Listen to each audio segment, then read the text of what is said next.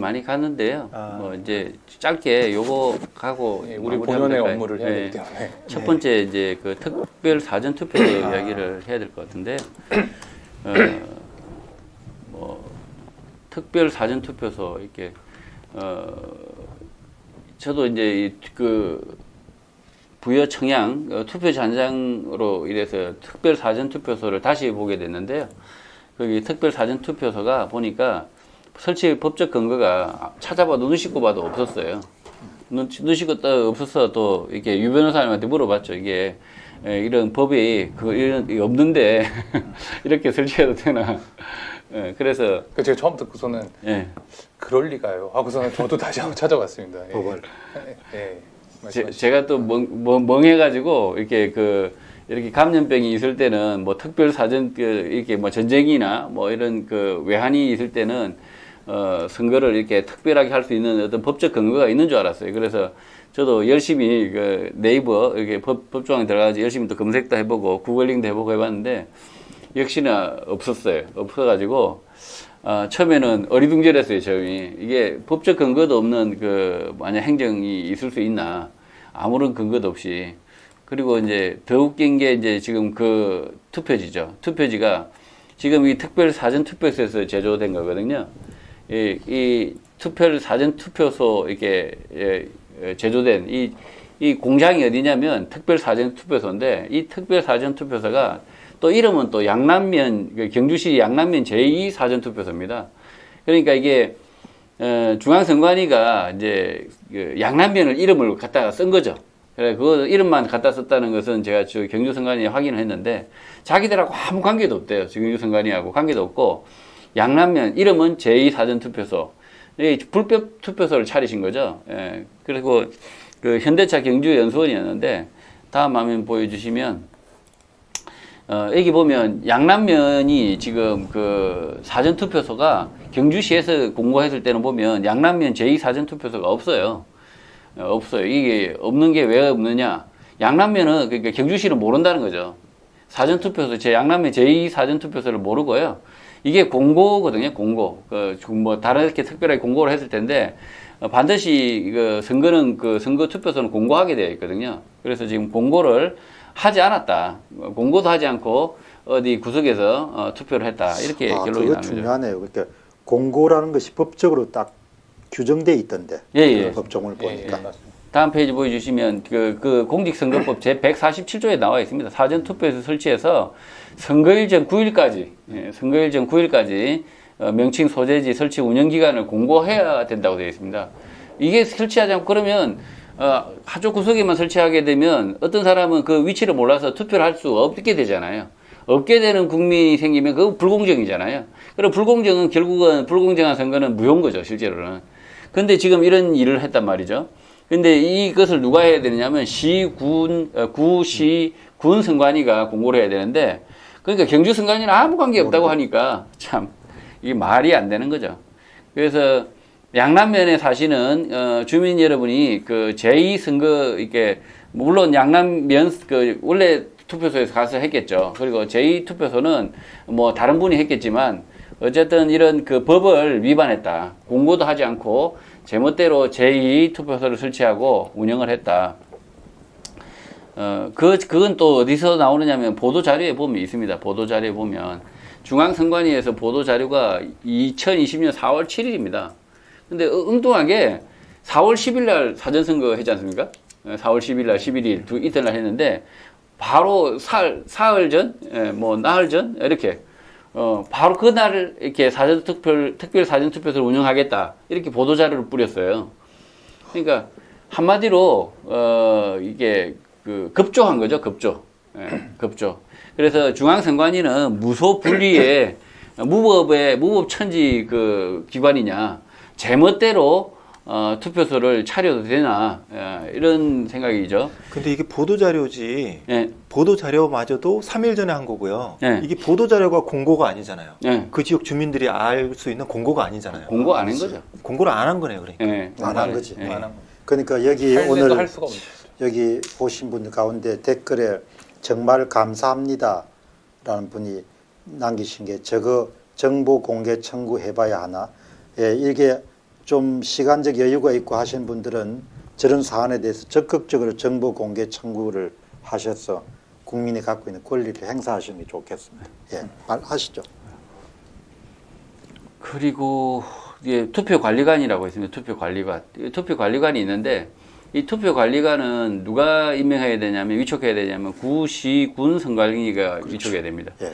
근데 이번에는 어, 특별 사전 투표소는 중앙 선관위 공무원이 그냥 해버렸습니다.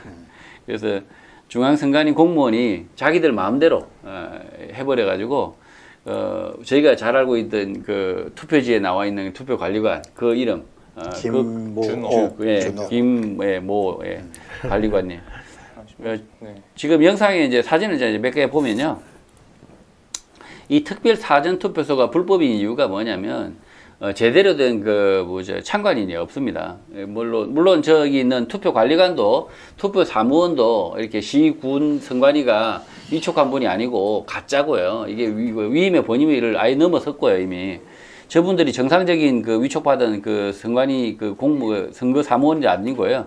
그리고 어, 참관인도 없습니다. 참관인, 참관인도 없고 그런 상태에서 어, 이 보시면 이제 그 전자통합 선거인 명부에 접속할 수 있는 단말기를 저렇게 가, 가져다 놓고 저기서 뭔 저렇게 단말기로 접속을 해서 어, 이렇게 하는데 다른 곳은 뭐 뭐 안 봐도 뻔하죠. 예, 다른 어. 곳에서도 여기에 김선수님이 양남면 제가 거주하고 있습니다. 제2 투표소가 있었다는 건 처음 들어봅니다. 야, 이게 뭐 전국적인으로 이게 네. 예, 맞- 좋네. 피드백이 바로 고맙습니다. 와서 좋네요. 예. 지금 저건 의료인들 투표고요. 의료인들 투표고 의료인들 투표가 끝나면 확진자 투표가 있거든요. 이 확진자 투표를 보시면 더 가관입니다. 이 확진자 투표인데 에, 확진자 투표는 저 세 분만 이렇게 합니다. 참관인이 아예 없습니다. 그러니까 저분 한 분은 투표 관리관, 한 분은 투표 사무원, 한 분은 참관인. 뭐 이렇게 역할을 나눠 맡은 것 같아요. 제 생각에는. 근데 저렇게 세 분만 하게 되면 위법이거든요. 참관인은 네명이 있어야 되더라고요. 네명네 명 이상, 최소한. 네. 네명 있어야 되는데 저렇게 참관인이 없는 투표. 제가 저기 아파트 선거 무효 소송을 했을 때도 어, 참관인이 없다 이유가 굉장히 큰 이유였어요. 이 참관인이 없으면 그 선거 자체가 공정할 수가 없기 때문에 어, 투표 참관인이 없다. 심각한 기- 결함이다. 어, 저 자체로서 선거가 무효다라고 하고 있고요. 저기는 이제 대전 동구 같은데요. 대전 동구. 예, 대전에도 아마 아, 대구 대구 동구인가요? 대구에도 아마 저런 그 특별 사전 투표소 차려졌는데 저기도 보면 한 분, 두 분, 세 분 보이잖아요. 세 분. 딱 세 분 보이고 나머지는 참관인이 없어요. 참관인이 없고 그래서 아주 그 코로나를 어, 빌미로 아주 무법천지 어, 사유로 총선을 치렀다. 어, 그런 결론입니다, 저는. 그럼 변호사님 저게 지금 미대 A님 말씀 들어보면은 뭐 법을 위반한 게 한두 개가 아니네요. 한두 개가 아닙니다. 예. 하나하나 뭐 간단하게 또 말씀을 드리면 이미 그러니까 제2 사전 투표소 양남면 제2 사전 투표소라는 그 이름 그 자체가 불법입니다. 그러니까 불법이고 제2가 있을 수가 없는 거예요. 읍면 동에는 하나기 때문에 하나게 제1이라고 이름을 붙일 필요가 없고 그냥 사전 투표소 어, 하나가 있는 거죠. 왜냐하면 우리가 이제 그 신중동 부천 신중동을 예로 들어 보시면 잘 아시겠지만 이제 부천 같은 경우에 이제 선관위에서 이제 해명하기를 왜 이렇게 부천 신중동에 사람이 많이 몰렸냐 그 부분에 대해서 해명하는 것이 부천이 행정구역을 광역동으로 편성하면서 동 자체 하나의 동 자체가 인구가 너무 많아졌다. 이렇게 되면서 하나를 설치할 수밖에 없었다.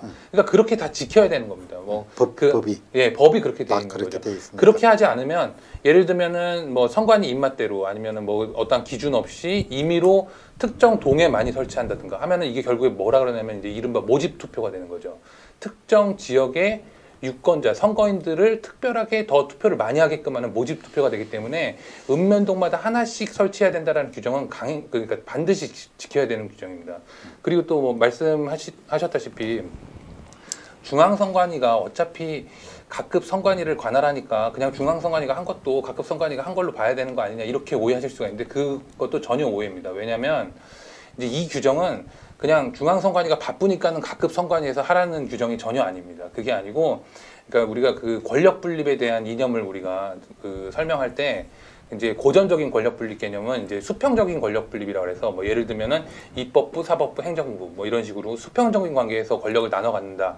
어, 이래서 서로 견제를 한다 이런 의, 의미였지만 현대적인 권력 분립의 의미는 수직적인 권력 분립의 의미를 더 가미해야 된다 이렇게 돼 있습니다. 그래서 예를 들면은 국가와 지방자치단체가 서로 견제를 하고 이 공선법에서는 중앙선관위의 모든 권한이 집중되면 안 되기 때문에 중앙선관위와 각급 선관위가 그 권한과 의무, 책임을 나눠 갖는 강행 규정인 거죠. 저것도 마찬가지로. 그래서 지역 선관위가 반드시 해야 되고 선관위 해명 자료를 보더라도 중앙 선관위 직원이 사전 투표 관리관으로 가는 것은 이례적이다라는 등또 그리고 또 자기네들이 그 특별 사전 투표소를 어, 운영하면서 받았던 서류들, 뭐 투표지 등은 반드시 어, 인계했어야 된다 지역 선관위로 그 점을 인정하고 있습니다. 그래서 이미 이 부분에 대한 불법은 선관위 해명 자료를 본다 하더라도 불법이 이미 다 입증된 부분이다. 그렇기 때문에 그리고 또 한 가지는 뭐냐면 이거는 이제 사전 투표에 관한 내용이라는 거죠. 그래서 사전 투표는 전국의 선거구에 다 영향을 줍니다. 예, 그렇기 때문에 이게 과연 특별 사전 투표소가 지금 뭐 선관위 말로는 지금 여덟 개 여덟 개 소가 설치돼서 운영되었다라고 하는데요. 어, 그 여덟 개 소가 설치된 그 선거구만, 그 지역의 선거구만 문제가 되는 것이 아니라 사전 투표기 때문에 전국 어디로든 투표를 할 수 있었고 실제로 경주 사전 투표 특별 사전 투표소라고 하는 불법적인 선, 어, 투표소에서 청양군 투표를 한 거죠. 청양군 선거에 투표를 한 거기 때문에 이 점만 보더라도 전국의 선거가 무효가 되는 것이 맞습니다. 네. 아, 뭐 아주 명쾌하네요. 그 불법을 그냥 다발로 저지른 총체적인 불법 투표소다. 총체적 불법. 예, 이렇게 이해를 하시는 게 정확합니다. 총체적 불법. 예. 그리고 여기에 한 분이 이걸 다시 또 미디어 A님이 더 다루달래요.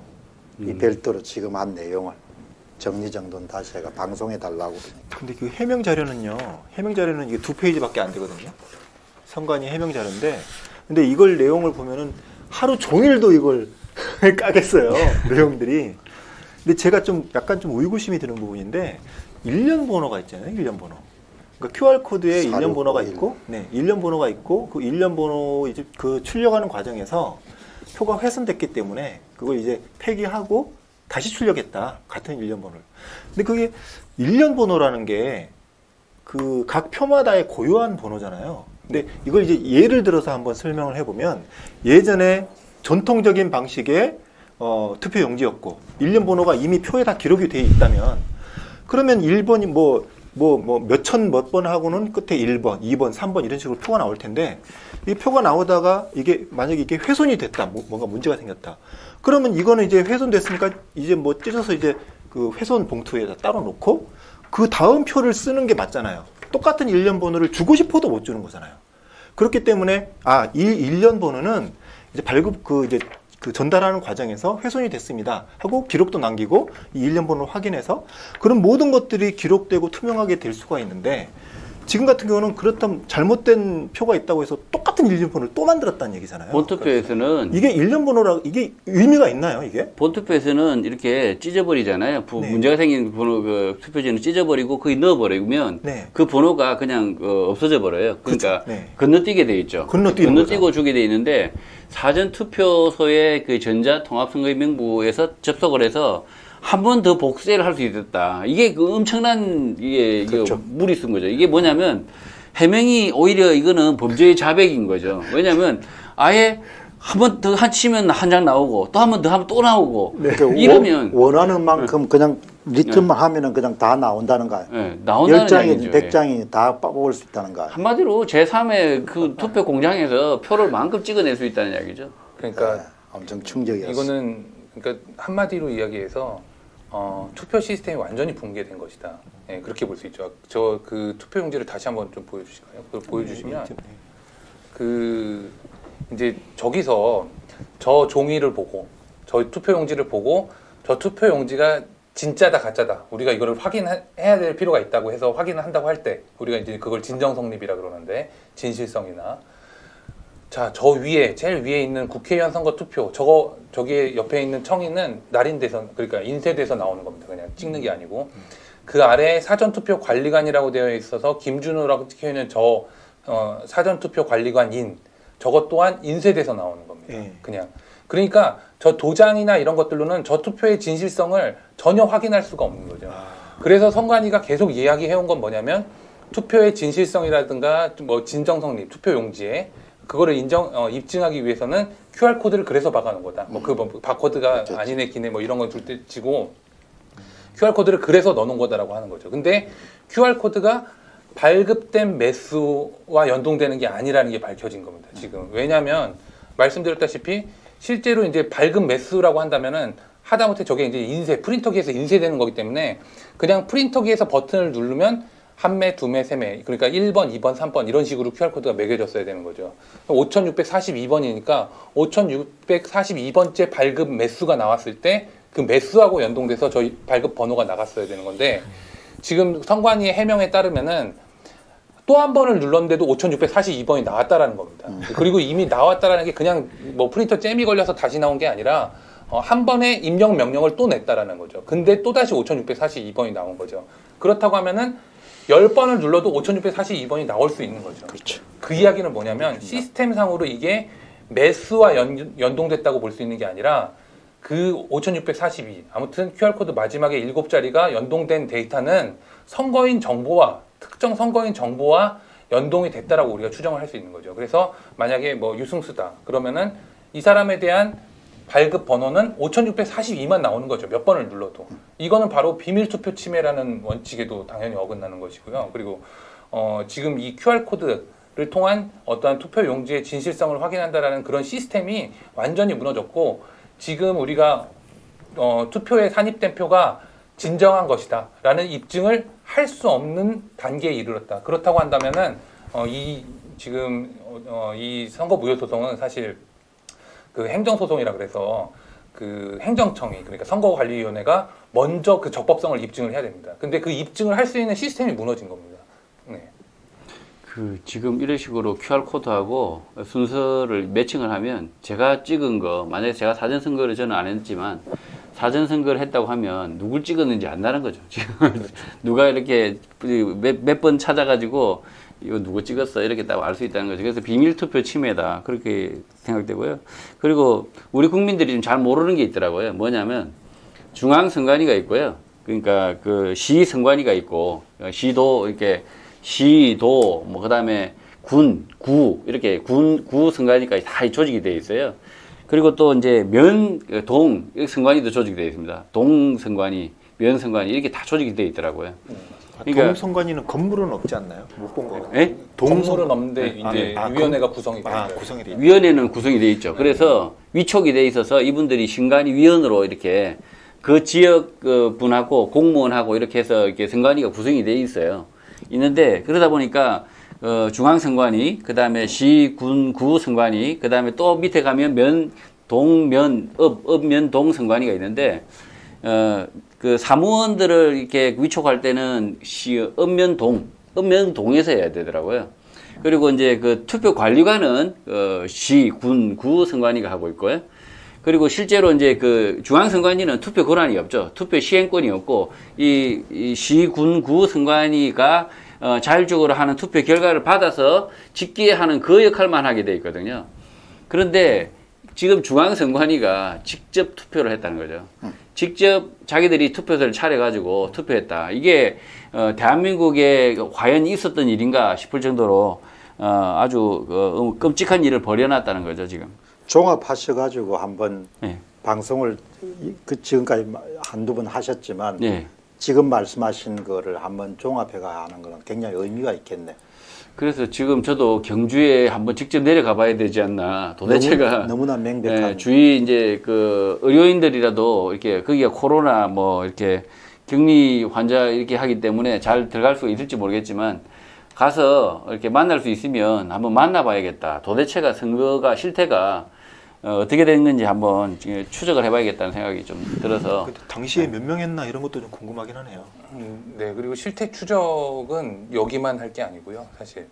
여덟 개. 그, 네, 여덟 개 소를 다 해야 되면 저는 거의 확신할 수 있습니다. 이 부분이 여덟 개 모두 다 중앙선관위가 오로지 관장을 했고 이, 이 여덟 개에서 일어난 선거 관, 관계 서류라든가 뭐 이번에 뭐 발견된 뭐 훼손된 투표용지라고 주장합니다만 이러한 모든 서류들이 다 중앙선관위로 다 집중됐다. 그리고 이거를 다 폐기했다. 예. 이 사실이 어, 분명히 드러날 거라고 생각합니다. 만약에 지역 그 선거 마지막 부분 한더 말씀해 주죠. 마지막에 이야기하신 분. 네, 그게 뭐가 드러날 거다. 그 이제 아까 말씀드렸다시피 사전 투표소는 어쨌든 모든 투표소는 모든 투표소라고 해도 됩니다. 지- 각급 지역 선관위에서 관장을 하게 되어 있습니다. 그렇지만 지금 이제 말씀드렸던 그 특별 사전 투표소라고 하는 이 총체적인 불법 투표소는 전부 다 중앙 선관위가 관장을 한 것이다. 법에 어긋나게. 음. 그리고 이 관계 서류들 이때 이 특별 사전 투표소라고 하는 여덟 개소에서 어, 관장한 어떠한 서류들이라든가 투표 용지는 전부 다 중앙선거관리위원회로 집중됐다. 그리고 또 한결같이 다 폐쇄됐을 것이다. 우리가 이런 추측, 추측을 하는 것은 전혀 무리한 해석이 아닙니다. 예. 네. 아주 근사한 추론이네. 예.